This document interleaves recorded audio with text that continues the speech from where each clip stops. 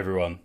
So in the last two videos, we looked at creating your virtual lab and some of the considerations that you'd make at that point. But what we also did was look at the application group and then how do we, and today's video is going to be how do we put those together and how do we start leveraging or using those together. So that comes in the way of a, a SureBackup job. Again, really simple. Click your SureBackup job up the top. So once you've created that application group in the virtual lab, this ribbon item, at least the virtual lab, the uh, the ribbon item, the SureBackup option becomes visible within your home homepage of your Veeam backup replication. So if we take this one for example, we jump in here. Again, they all look very similar from a from a Veeam point of view. Give it a name, give it a description.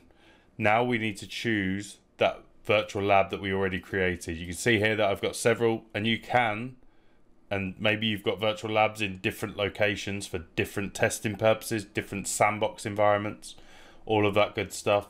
But today we're going to use that one. It gives you a summary of what that looks like, what, what the host it's going to be residing on, what the capacity of that data store is, etc. etc. Then we choose our application group. Again, we could choose any of those. It could be this one.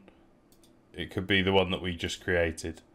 And it gives you a, again a summary of well it's going to test against the web server. It's going to it's going to be running that from the backup source whereas it could be a, a replica or it could be a um, storage snapshot.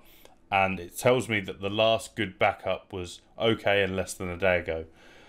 Now this this tick box down here is and we're going to get back to this. This is around if you wanted to keep this running. So what we're doing now is we're looking at SureBackup, which is going to verify that the backup is in a good state. It's going to make sure, it's going to tell me that this CentOS box is going to be powered up, it's going to be powered on, spun up, and then it's going to be accessed via heartbeat, ping, and then also we're going to run some specific port 80 type tasks against that to confirm that the web server service that we expect to be there is there before it then automates that whole breaking down of that. So and then you get a report to say everything is is good. So for this instance we're not going to tick that. Now if we had additional backup jobs that we'd also want to link to this we could add those in in here. Then this backup or the settings so we've got a few different options here. One is backup file integrity check to ensure that the whole um, virtual disk is, is there and there is no data corruption.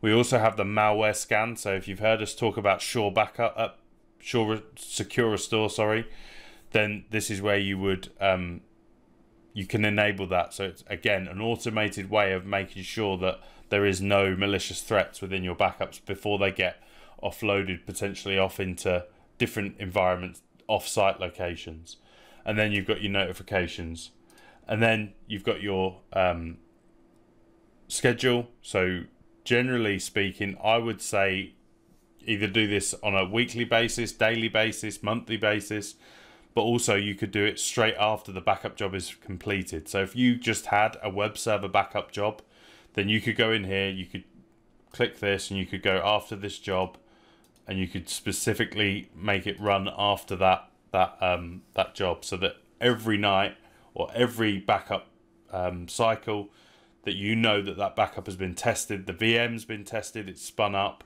We've tested against the operating system because we're going to be looking for that ping, so the network has to be there, and we're going to be looking inside at the application if you've if it's applicable.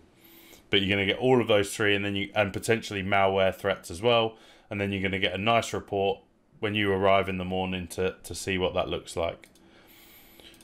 So that's that. If we then quickly, this is what the report would look like, hopefully with less red, but you're going to see that the session details, you're going to see what, what happened. Obviously, this is a lab environment, but you might have a three tier, a bigger pool of machines that you want to test against. You can see how long it takes. It doesn't take very long at all. This is with limited resources within our lab and ultimately you get this same report emailed to you if you configure that to be the case. Any questions, drop them down in the comments below. Thank you very much.